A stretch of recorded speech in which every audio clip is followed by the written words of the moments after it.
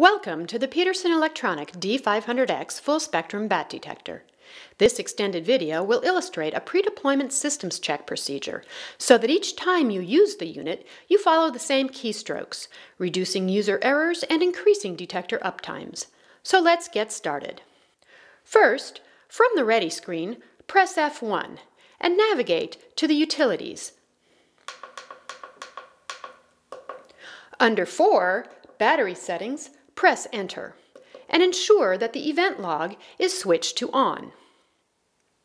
The right-left arrow keys toggle between settings.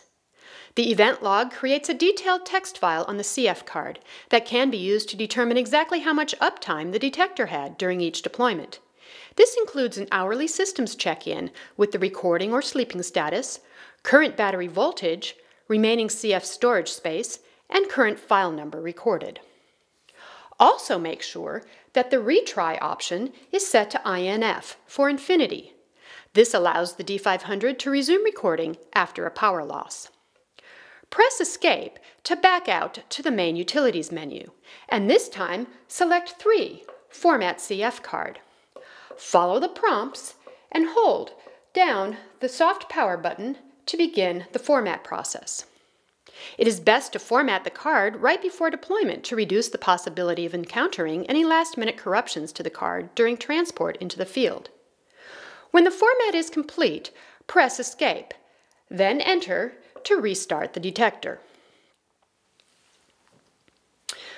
From the Ready screen, we see the D500 is set to the User Zero profile.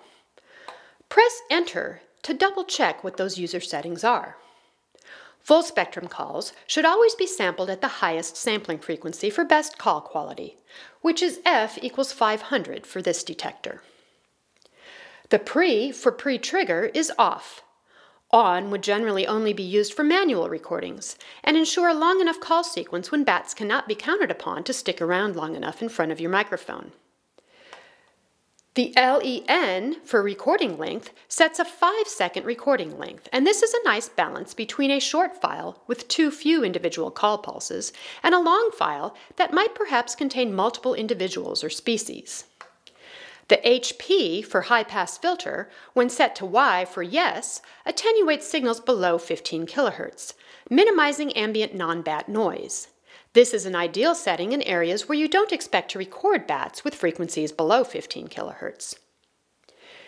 The A for auto record is set to Y for yes so that the detector triggers on high frequency sound. A no setting allows users to make attended recordings and decide when to save a file. Finally, TS, or trigger sensitivity, is set to 2, which is medium, this further helps to eliminate non-bat files by invoking the onboard noise rejection system. If recording efforts contain a lot of non-bat noise, this can be set to low, but at the expense of possibly missing some low amplitude bats. If needed, these settings in the User Zero profile can be adjusted by pressing F1 for the User Profiles menu. Return to the Ready screen by pressing Enter.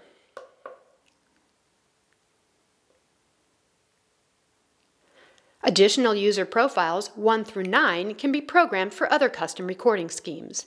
In addition, there are 10 profile settings that are factory settings and cannot be edited. Press F1 to access the Time Settings menu and confirm that the year, date, month, and time are all correct. Use an UTC offset table to program the offset from Greenwich Mean Time for your time zone.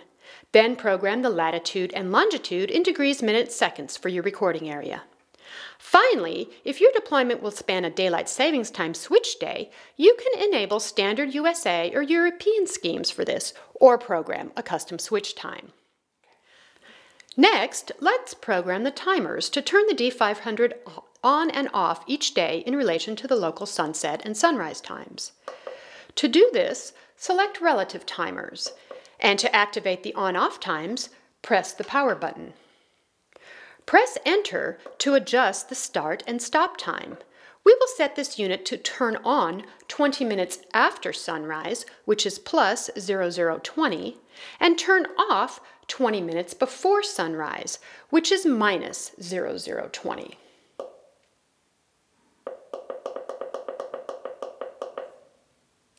These settings would reduce the number of birds that could be recorded at dusk and dawn.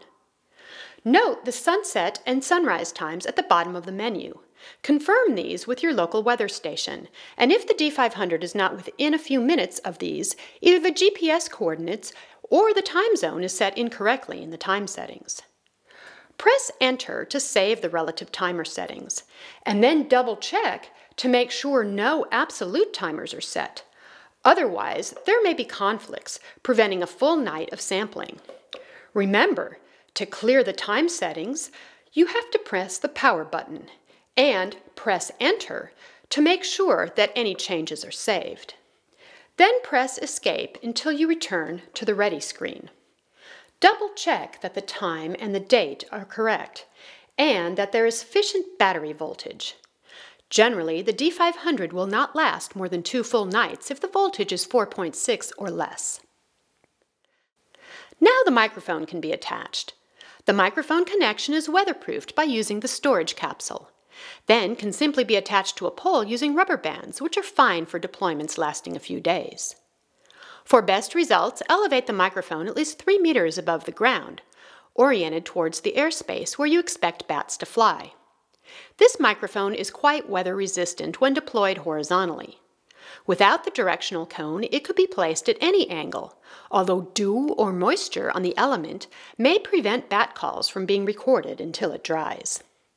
When the microphone is deployed, press the record button to set the very final site-specific triggers. The input gain is like the volume of the detector. 45 is a great number to start with, but if you are specifically targeting quiet bats, then 60 or even 80 might be better. But this would risk overloading calls from nearby or loud bats. The trigger level initiates a recording when a certain threshold above ambient is reached. A setting of 160 is good for capturing more bats which are in range and more likely to return confident species ID. 120 may be more sensitive to bats further away, but can return more noisy files with fainter call pulses, which may or may not be useful for auto ID. These settings may also vary with every deployment, as ambient noise levels from wind or insects or other sources will change. The interval is the number of seconds the D500 waits after a recording before rearming for the next trigger event, which for most passive deployments should be set to zero. When everything is set, clap your hands to ensure that the microphone and cable connections are tight. A bar graph moves to simulate the volume of the incoming sound. If the bar maxes out, the gain is set too high. A star appears when an incoming signal exceeds the trigger level to initiate a recording. If the star is always on, there may be undesirable insect or electrical noise in the environment. Try moving to another location or adjusting the trigger level up.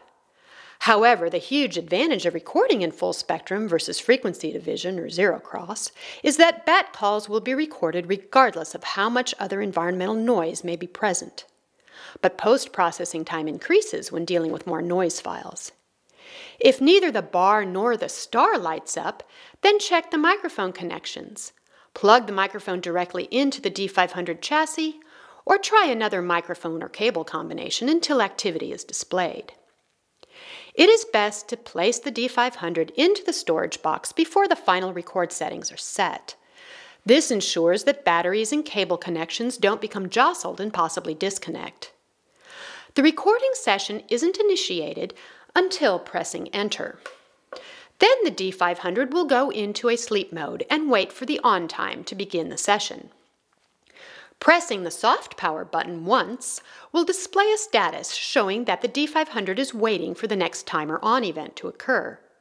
It will also report a file count so you can immediately tell that the system is indeed making recordings.